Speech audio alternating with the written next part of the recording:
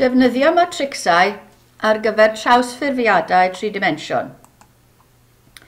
Yn y fideo yma, byddwn ni'n defnyddio uh, matricsau i gynrychioli trawsffurfiadau unigol mewn tri dimensiwn, uh, wedi cyfyngu adlywyrchu llai yn x yn haflu 0, y yn haflu 0, neu z yn haflu 0, neu cilchdroi o amgylch un o'r echelynau cyfesurynol.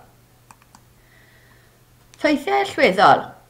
Ar gyfer y trawsffurfiad, na mae hwn yn golygu bod y pwynt mewn tri dimensiwn x, y, z yn cael ei trawsffurfio gyda'r matrix um, felly ni'n rhoi'r y pwynt x, y, z ar ochr dde y matrix a ni'n lliosi fe trwyddo. Tri dimensiwn x, y a z. Felly, delwedd y tardd yw'r tardd. Mae 0, 0, 0, uh, so lliosi dy 0, 0, 0, ni'n cael yr er tardd nôl, 0, 0, 0. Delwedd 1, 0, 0 yw a dy g.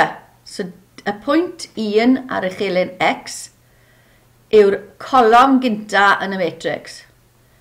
Delwedd 0, 1, 0 yw'r ail golofn y matrix. A delwedd 001 yw colofn olaf y matrix. Nawr, os ydych chi'n gosod y pwyntiau yma, na beth byddwch chi'n cael mas, y pwyntiau yna byddwch chi'n cael mas. A dyna ffordd i ni'n dod o hyd i'r matrix trawsffurio uh, pan o'n ni'n gwneud dwy dimensiwn. Os oes gan y trawsffurfiad S y matrix A a trawsffurfiad T y matrix B, Bydd y trawsffurfiad S wedi ddilyn gan T uh, y matrix B llosi A. Ni'n llosi nhw sianol. A yn gweithio gynta a B yn gweithio ariola. Achos bod ni'n rhoi'r er pwynt tu ôl y matrix, ar ochr dde y matrix. Mae'r matrix minus 1 yn y diagonal um, yma, yn rhoi adlewyrchiad yn y plan x yn haflu 0. So mae x yn haflu 0 yn plan a mae'r matrix yna yn rhoi adlewyrchiad yn y plan yna. Mae'r matrix gyda minus 1 yn yr uh, elfen ganol yn rhoi adlewyrchiad yn y plan y yn haflu 0. A mae'r matrix gyda minus 1 yn yr cornel gwylod dde yn rhoi adlewyrchad yn y plan Z yn haflu 0. Felly, ni'n gallu cofio'r yna, neu gallwn ni ystyried beth sy'n digwydd i'r pwyntiau 1, 0, 0, 0, 1, 0 a 0, 0, 1, sef beth o'n i'n arfer wneud yn dau dimensiwn. So, dau ddill Cylch droi o gwmpas yr uchelynau. Os ych chi'n dychmygu edrych ar hyd cyfeiriad positif, yr uchelyn cylchdro, tuag at y tardd, so nôl ar hyd yr uchelyn positif, tuag at y tardd, bydd yr ongl positif yn rhoi cylchdro gwrth glocwedd ac ongl negatif yn rhoi cylchdro clocwedd. So dyna ffordd arall i feddwl am cylchdro. Hefyd, am yr, am darn bach yna yn cael ei roi i chi yn y llyfryn gwybodaeth, ond os i ni ar matrix yma yn rhoi cilchdro o gwmpas yr echelin X, mae'r echelin X ddim yn newid. Felly, cilchdro uh, e, gwrth glocwedd o gwmpas, uh, y ta, o gwmpas yr echelin X. Os dyw'r er, er cos a'r sain yn y ffurf yna.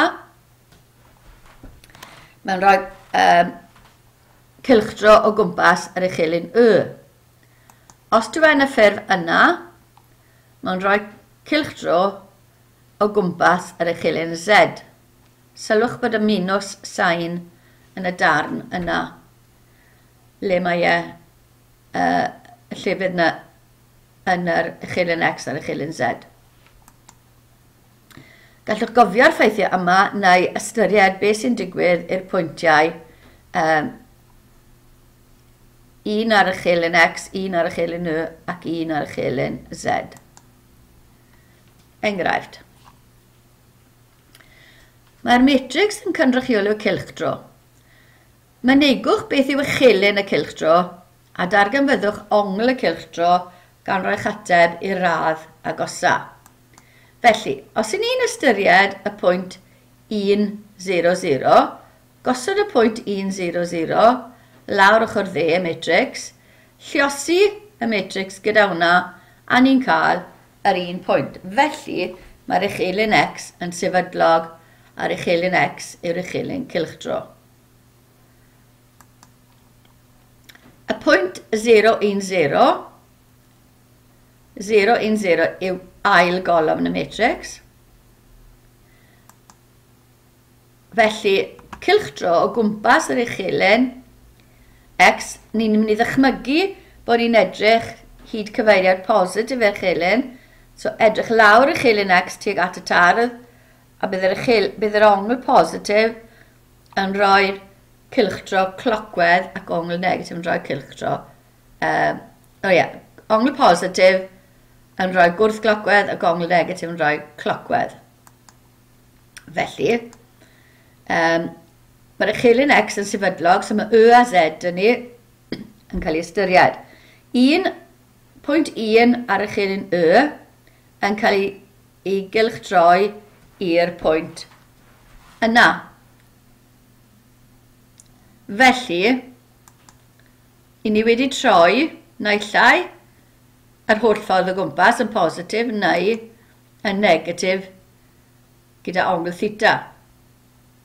Mae gyda ni um, y rhan y, o, oh, sorry, y rhan um, vertigol yw 10.6, a rhan llorweddol yma yw 10.8. Felly, uh, ni'n gwybod bod ydy ni tan theta, sef y theta sy'n cael ei dynodi yn y llun, bydd 10.6 dros 10.8, um, gyferbyn dros agos yn rhoi 36.9. Felly 36.9 yn y cyfeiriad clocwedd sy'n ongl negatif neu ni'n gweud bod e'n 321. So, ni wedi ystyried beth sy'n digwydd i'r pwynt um, yn y colom ganol fyna. Dy trysedd arall bydde, uh, Defnyddio'r ffeithiau yma, y matricsau yma, felly ni'n gweld bod ni, bod ni a 1 0 0 lawr y colwm gynta sy'n rhoi ni ciltro gwmpas ar y chyn yn x. Uh, a ni angen bod cos theta yn 10.8 felly cos theta yn 10.8 yn rhoi i ni naill ai bod theta yn 36.9 gyda cyfrifiannau neu Ni'n gwybod bod cos yn positif yn y pedwerydd. Pedran sy'n rhoi ni 360 tynnu 36.9, so mae'r ddoi ongl yna dyn ni yw ystyried. Ni hefyd angen bod sain theta yn minus 10.6, neu sain theta yn minus 10.6. So mae sain theta yn minus yn yr trydydd a'r pedwerydd pedran. So mae sain theta yn rhoi minus dim bwyd chwech i ni yn rhoi neu llai ongl 216.9 neu 323.1 yn y trydydd a'r pedwerydd pedrad. Um, 36.9 yn y trydydd byddai 180 adio 36.9 ac yn yr pedwerydd mae yn uh, 360 tynnu 36.9. Felly mae'r yr unig ongl sy'n cyfateb, achos ni angen y cos i dyn, dim pwynt oedd, a'r sain theta yn minus dim pwynt chwech yw 323.1. Ond i radd y gosa mae'n dweud, so 323 gradd. Enghraifft arall. Dargan fyddwch y matrixau 3 wrth 3 sy'n cynrychioli trawsffurfiadau A a B lle mae A yn adlewyrchiad o'r plan, Z yn hawlu 0, a B yw cilchdro o gwmpas ar uchelyn X drwy ongl 60. Darganfyddwch matrix sy'n cynrychioli trawsffurfiad A wedi ddilyn gan B, felly. Datrysiad cyntaf. So dyna beth sydd gyda ni. Dyna'n plan Z ni, yn haflu 0 x a g ni'n ystyried wedyn ni. Felly, beth sy'n digwydd i'r pwynt 1 yn uh, adlywyrchiad yn y plan, mae fe'n mynd i y pwynt uh, un.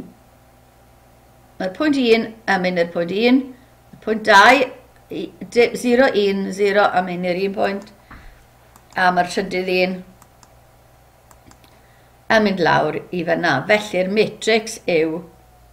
So mae'r ddau pwynt yna, achos maen nhw ar y plan, z yn haflu 0, yn sefyll rhywun peth, mae'r pwynt z yn haflu 1, uh, yn mynd adlywyrchu minus 1, felly dyna'r matrix, y tri colon. Y pwynt 1 ar y chilin x, yn sefyll, yn gwneud cael ei adlywyrchu, mae fe ar y plan.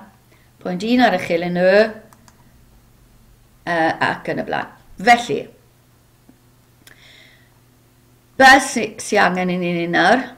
Mae B yw'r cilchdro o gwmpas yr uchelin X trwy ongl 60. Um,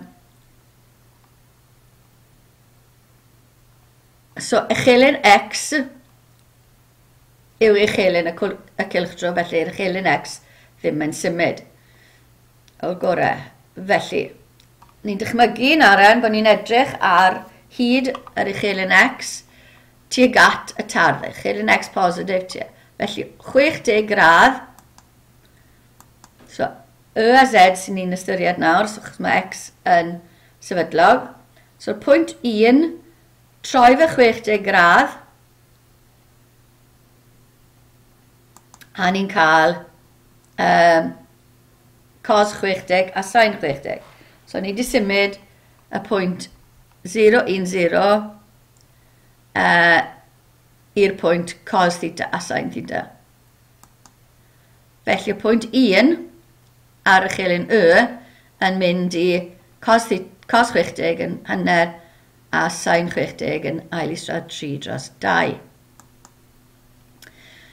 Y pwynt 010, na, 001 yw na fod, yn mynd i, so 60 gradd uh, gwrth glocwedd o fyna yn rhoi i ni minus, mae sain yn minus yn y pedra yna, felly minus sain 60, cos 60, sy'n rhoi i ni uh, bod y pwynt 001 yn mynd i uh, sain 60 yn ail isra 3 dros 2, so minus hwnna a cos 60 yn hynner. Felly'r matrix amcylch dro yw, so 1, 0, 0 ar y colom gynta, a'r ail golom yw beth sy'n digwydd i'r 1 ar y chylun Y, a trydydd colom yw beth sy'n digwydd i'r 1 ar y chylun Z. So dyna'r matrix B. Nawr ten. Ni angen y matrix A wedi ddilyn gan B. Felly matrix A sy'n cael ei wneud gynta gyda'r gyda cyfysur yna'r er pwynt. A matrix B yn mynd am ateb hwnna, felly ni'n llosi fe ochr chwyth y matrix A. So ni'n llosi nhw yn y drefn yna, llosi nhw mas, um, so 0, 1, lawr y uchel yna, um, ac yn y blaen. So eisiau llosi hwnna trwyddo, byddwch chi'n gweld bod tan, dan matrix am A wedi ddilyn gan B. Datrysiad arall bydde defnyddio'r ffeithiau am y matrixau oedd wedi cael ei roi ni ar y dechrau. Felly, oedd A yn adlewyrchiad y plan Z yn haflu 0, so dyna ni fyna. A oedd B, ongl o gwmpas yr uchelyn X, gyda 60, so gwmpas yr uchelyn x gyda 60. A 60 gyda ni, so felly ni'n defnyddio'r ffeithiau yna. Sy'n rhoi yn ni yr un matrix ac o'r blaen. So naill chi'n dysgu rein, neu chi'n ystyried yn datrysiad un beth sy'n digwydd i'r pwyntiau un ar y tri uchelyn a ni'n neud llosi mas eto yn y drefn sianol, so A yn mynd ar ochr dde, B yn mynd o'i, oi flaen ar ochr chwyth, llosi nhw, resu, llosi colofne, a dylen ni gael yr ateb yna'n dod mas. A dyna ddiwedd y metric, y fideo adolygu ar gyfer y metricsau a trawsffurfiadau tri dimensiwn.